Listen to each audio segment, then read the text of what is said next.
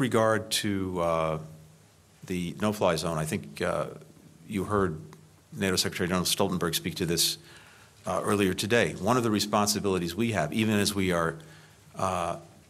doing everything we can to give the Ukrainian uh, people the means to defend themselves uh, effectively against Russia, we also have a responsibility, as the Secretary General said, to ensure that the war doesn't